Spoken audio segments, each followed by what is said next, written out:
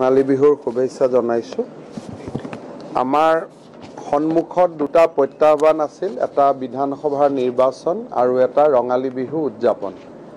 আৰু দুয়োটাই তুলনামূলকভাৱে ক'ভিডৰ আতংকৰ মাজতো তুলনামূলকভাৱে দুয়োটা অনুষ্ঠানেই এটা গণতন্ত্ৰৰ উৎসৱ আৰু আনটো আমাৰ জাতীয় উৎসৱ দুয়োটা অনু অনুষ্ঠানেই আমি সুকলমে পাৰ কৰিব পাৰিছোঁ।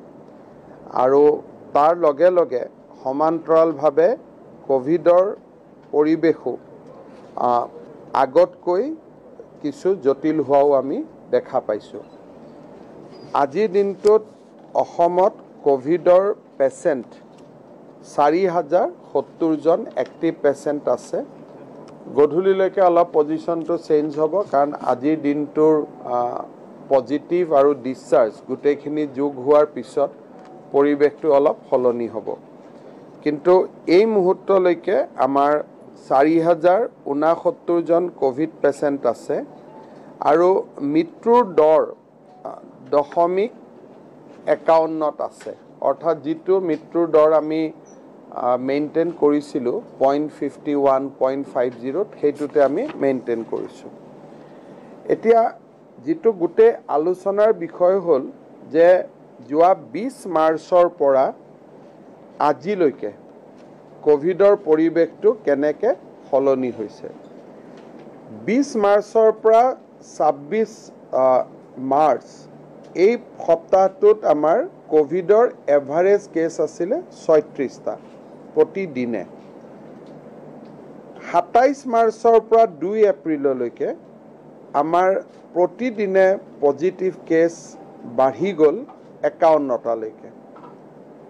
তিনিৰ পৰা ন এপ্ৰিল এই সময়খিনিত আমাৰ পজিটিভ কেছ বাঢ়িলে এশ ছিয়াল্লিছলৈকে। আৰু দহৰ পৰা ষোল্ল এপ্ৰিললৈকে আমাৰ পজিটিভ কেছ আমি প্ৰতিদিনে পোৱা আৰম্ভ কৰিলোঁ চাৰিশ চৌৰাশীটা। তাৰ আন এটা কাৰণো আছে যে বিছ মাৰ্চৰ পৰা ছাব্বিছ মাৰ্চলৈকে আমাৰ টেষ্ট হৈছিল তেৰ হাজাৰ সাতাইছৰ পৰা দুই এপ্ৰিললৈকে দহ হাজাৰ তিনিৰ পৰা ন এপ্ৰিললৈকে সোতৰ হাজাৰ আৰু দহৰ পৰা ষোল্ল এপ্ৰিললৈকে আমাৰ টেষ্ট হৈছে প্ৰতিদিনে ফিফটি ফ'ৰ থাউজেণ্ড গতিকে টেষ্ট যেতিয়া যোৱা সপ্তাহটোত প্ৰায় পঞ্চাছ হাজাৰ অতিক্ৰম কৰি গ'ল আমি চাৰিশ চৌৰাশীটা কেছ আমি পজিটিভ পালোঁ।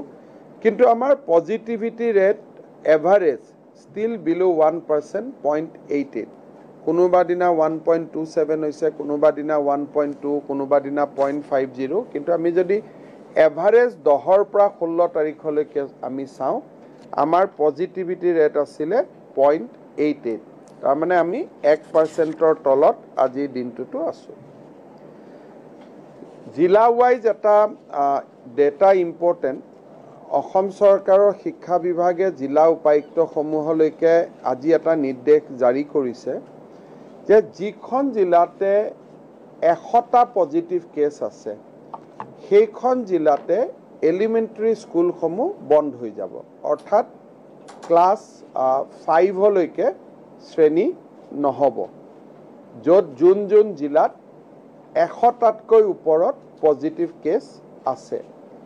সেই দৃষ্টিকোণৰ পৰা কামৰূপ মেট্ৰত আছে ওঠৰশ ষাঠিটা ডিব্ৰুগড়ত তিনিশ তেইছটা কামৰূপ ৰুৰেলত দুশ পঁচাশীটা নগাঁৱত এশ চৌৰাল্লিছটা যোৰহাটত এশ তেত্ৰিছটা তিনিচুকীয়াত এশ একত্ৰিছটা কাছাৰত এশ বিছটা আৰু শোণিতপুৰত এশ ঊনৈছটা আন জিলাসমূহত আজিৰ দিনতো এক্টিভ কেছ এশতকৈ তলত আছে। আমাৰ শিক্ষা বিভাগে গোটেই দায়িত্বটো জিলা উপায়ুক্তক দিছে। জিলা উপায়ুক্তসকলে যেতিয়াই দেখিব যে মোৰ জিলাত প্ৰতিদিনে এশতকৈ বেছি এক্টিভ কেছ হ'ব আৰম্ভ কৰিছে তেওঁলোকে সেই সেই জিলাৰ প্ৰাথমিক বিদ্যালয়সমূহ বন্ধ কৰি দিব। চৰকাৰে বেলেগ বেলেগ আৰু নিৰ্দেশ নিদিয়ে।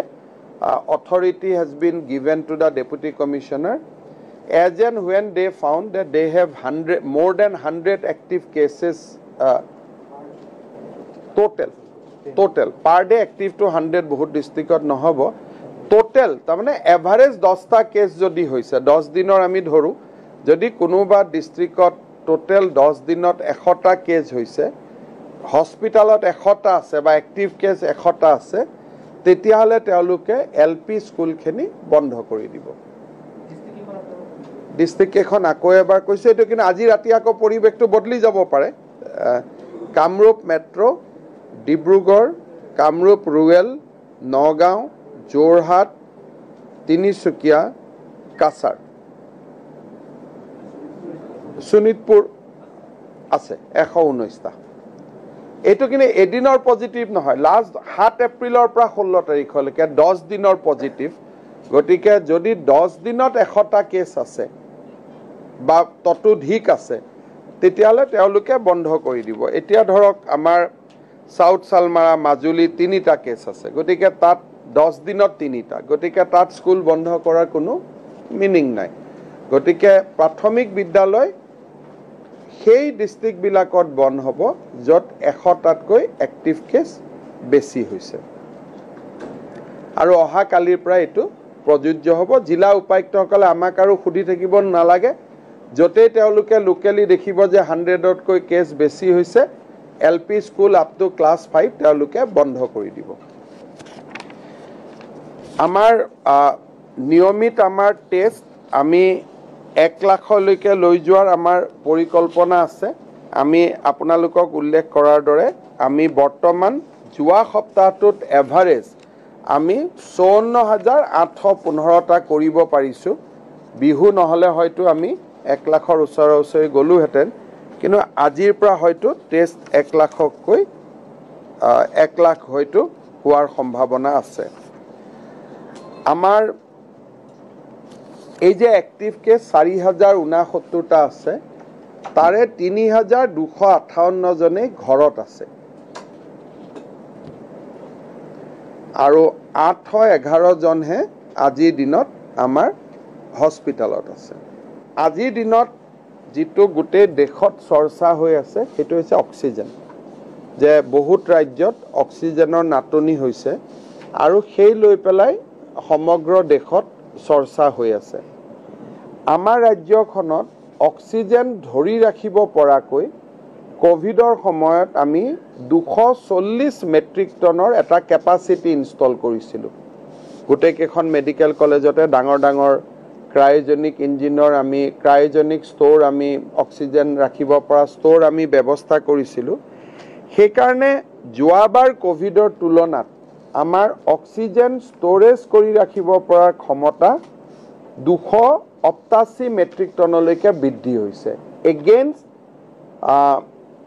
forty three metric tonne অৰ্থাৎ আগত যিটো আমাৰ অক্সিজেন ধৰি ৰাখিব পৰা capacity forty three metric tonne আছিল সেই ফৰ্টি থ্ৰী মেট্ৰিক টন এতিয়া আমাৰ বৃদ্ধি হৈছে দুশ ঊনচল্লিছ দশমিক ফ'ৰ মেট্ৰিক টন সেইকাৰণে আমি অক্সিজেনৰ নাটনিক খুব সোনকালে আমি অক্সিজেনৰ নাটনি আমি